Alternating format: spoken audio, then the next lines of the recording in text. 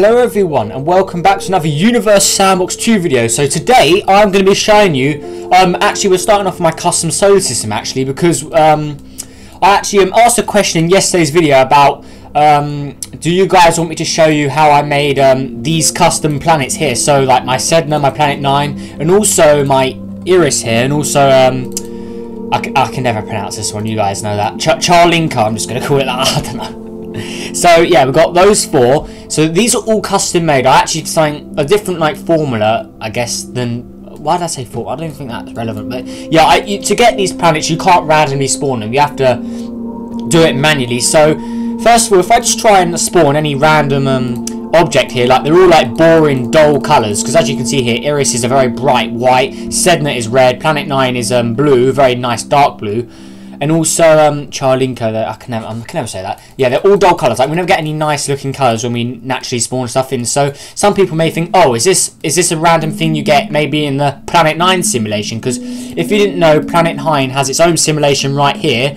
But sadly, um, wait, is this going to load? That doesn't. Yeah, so sadly that doesn't work either. And also is Sedna. These have to be spawned in naturally. So this Planet Nine here, it's just a boring old colour. It's not even blue.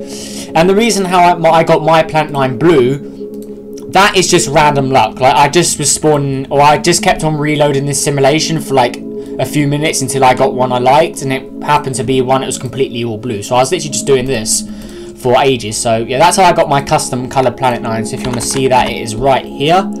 So there we go. Let's just put it here for now. Yeah, so here's my custom Planet 9. So it's actually just a nice dark blue, or like, I guess, yeah, pale blue, like compared to Neptune or Uranus there. It's quite a dark blue. It's, I like it. I think it suits it quite well. And also, um, yeah, so that's that. And also, yeah, it's blue here, as you can see. But the way you do that, actually, so, if you didn't know, um, or if you don't have the game, you should know, or you should know that um, stars, so let's get the sun, for instance, if we um, launch it, then we um, speed up time a lot. Come on, speed up, please. There we go. So as you can see, it has a yellowish sort of trail. And if we get like a star like Rigel, it should have a um, Okay, that wasn't meant to happen. You didn't see that. so let's get a star like Rigel, for instance. We shoot it that way.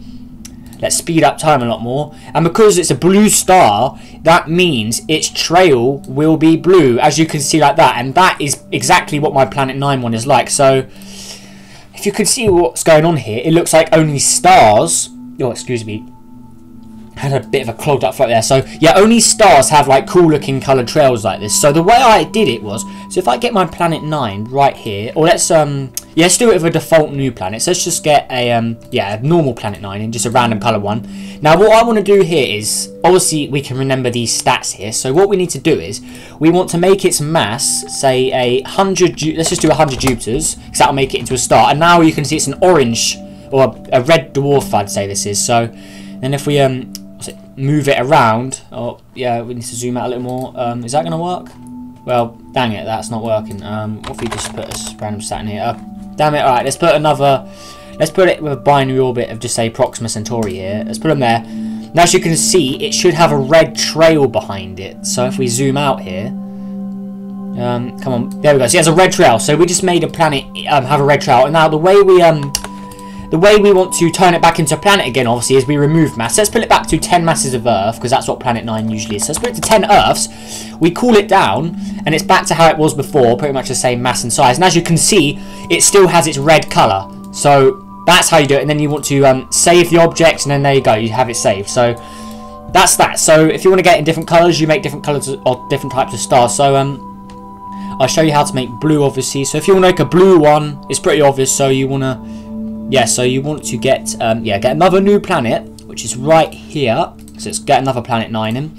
And obviously I have mine on blue because Planet 9 is a blue planet in my, or my custom Planet 9 is blue. So obviously I want to have it in blue. So let's just get it there again. Let's put it over here for now.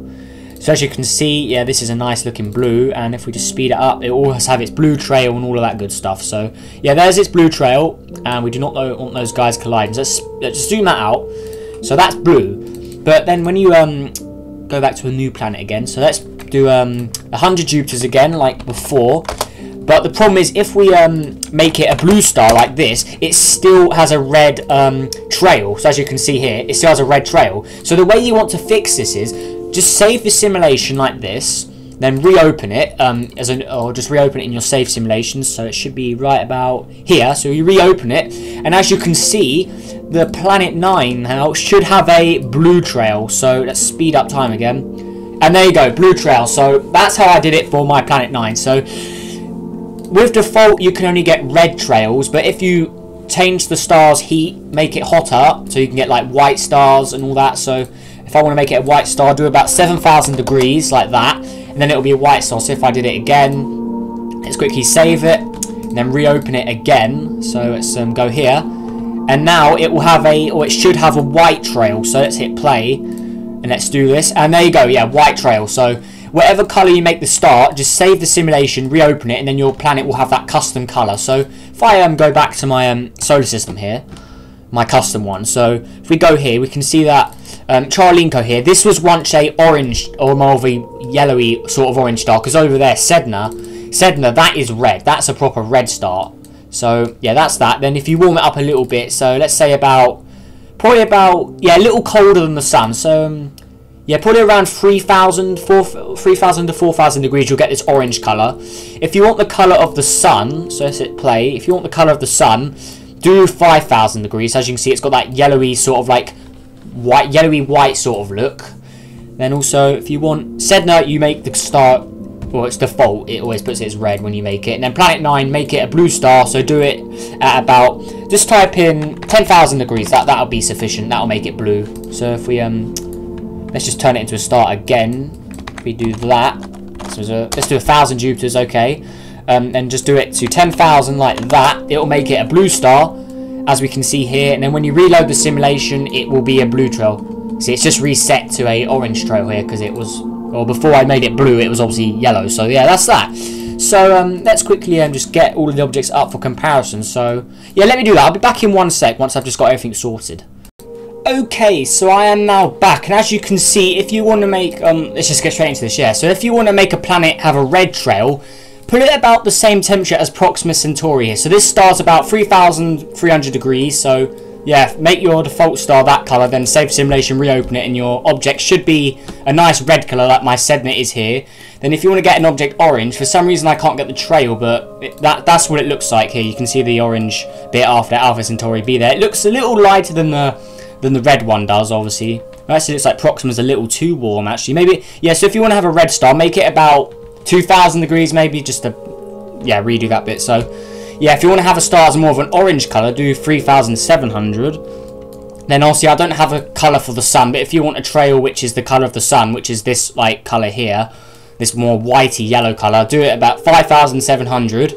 Now if you want a white sort of coloured object, um, a white trail like my iris is here, do it about 7,000, 6,500 degrees. That'll give you a white a more white trail, as you can see here, more sort of a bluey white trail. Then if you want your star to be completely blue like my Planet 9 is, put it up to some really high temperature, as you can see I have this with this sun here, 50,000 degrees, like put it, put it up to something like that and you'll have it. And the reason why this star isn't actually have a blue trail is because I haven't um, reopened the simulation yet. So if I just quickly do that for another example, so let's just quickly save it and then reopen it again, this will now have a blue trail as we can see right about there. So it should now have a blue trail. So if we go back over here, then we go on, um, or if we just hit play, or actually um, just do that, please. Yes, he said now has a blue trail. That, yeah, that's, that's that. So hopefully you guys um, enjoyed this um, shorter than usual video. Oh, I think it's short. I, I don't really know the time, but yeah. If you um, have any questions on how to do this, um, just leave a comment down below and I'm sure to help you. So basically, just to go over it one more time. So so um, just make a planet larger in size. Let's just, yeah, just get another planet here just to um, examples. We don't um, anyone getting confused here. So all you do is make it um, 100 masses of Jupiter. So that will automatically make it a red um, object. As you can see here, it should, yeah, that will have a red child. You can see it when you um, select over the object. It has like a red glow around it. So yeah, the default color is red, and then increase it to any of these temperatures here so 3,000, 3,700, 5,000, 6,000, 7,000, or 8,000 there, and then just like 50,000 to get the different colors and then just save the simulation reopen it and then your custom object should have a um, custom color so let's put this one at 7000 again. I feel like I've done this so many times but might as well show you guys everything so let's just save again and reopen. And now this will have a white like white color theme. So let's zoom in on it. So where are we? All right over here. Let's zoom in.